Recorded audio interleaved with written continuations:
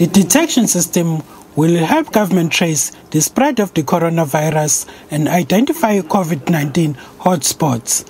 The testing method was imported from the Dutch Institute in Netherlands by Amanzi Water with the Greenhill Laboratories.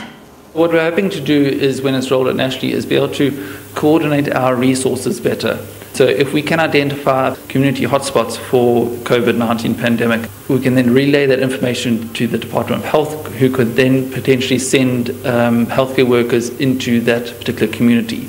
We'll then say to them, look, we'll monitor community B and C, but community A looks like it's a potential hotspot. We can see the viral load increase in that community. Send more healthcare workers that side, and we'll continue to monitor the other communities.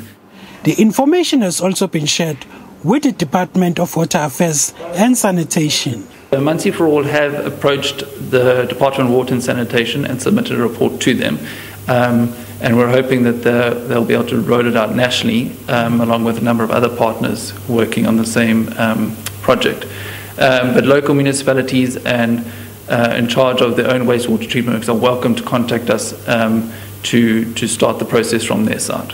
It is hoped that the municipalities will also use the system in their areas. South Africa is the fifth highest numbers of recorded COVID 19 cases in the world, and they continue to increase daily.